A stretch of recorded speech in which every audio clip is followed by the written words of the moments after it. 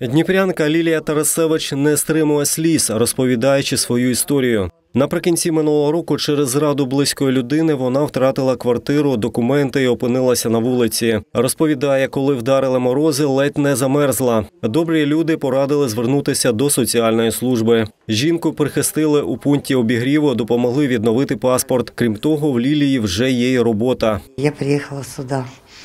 Я была в очень плохом состоянии, вы сами поймете в каком. И мне тут подали руку помощи.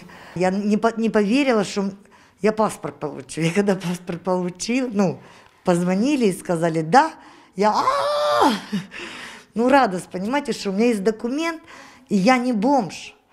Я тоже, ну, человек же такой, как, ну, мне не надо бросать кирпичи, палки. Ну, мне просто тут дали уверенность, что я человек.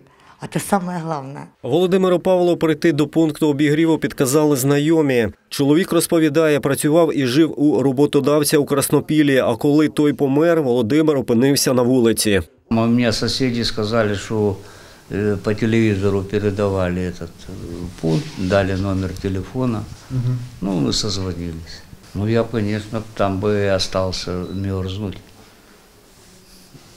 Но вот это благодаря пункту и выручают, помогают. Пункт обігріву на Лоцманській працює цілодобово. Безхатченка або пересічні діпряни, які замерзли і їм треба зігрітися та перепочити, знайдуть тут прихисток, кажуть соцпрацівники. Люди можуть попити чаю, поїсти та навіть переодягнутися. В пункті є деякі запаси одягу. Ситуация разная бывает, там не успел на поезд или где-то задержался, или человек бездомный, но в принципе ночью он имеет жилье, где проживать, ему надо какое-то время перебыть, погреться.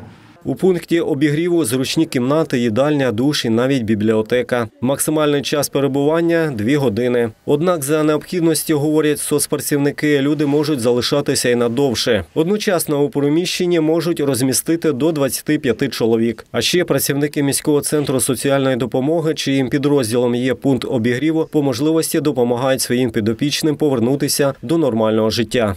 У нас 80% таких, у которых нет документов. Ну, то ли по халатности, то ли случайно кто-то где-то забыл, то ли украли, то ли сожгли.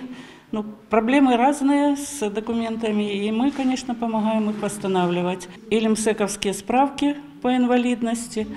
Э, Оформляем, пытаемся оформлять в дом-интернат, но опять-таки проблемы, потому что сейчас новые правила поступления в дом-интернат, и очень проблемно сейчас туда устроить человека. А Раніше пункти обігріву відкривали при усіх міських територіальних центрах соціального обслуговування. Однак через карантин зараз вони зачинені. Працює тільки пункт на вулиці Лоцманській, 22А.